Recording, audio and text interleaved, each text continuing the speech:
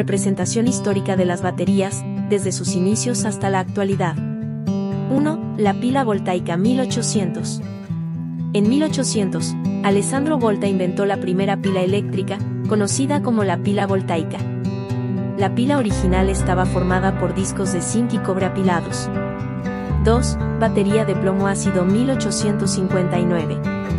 La batería de plomo ácido, desarrollada por Gastón Planté en 1859, fue un hito importante.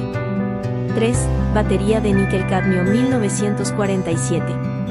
En 1947, Waldemar Jungner inventó la batería de níquel-cadmio. Estas baterías eran utilizadas en radios y cámaras antiguas.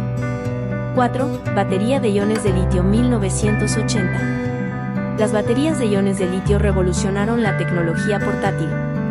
5. La batería del futuro 2024. Una batería futurista, con materiales avanzados y alta eficiencia.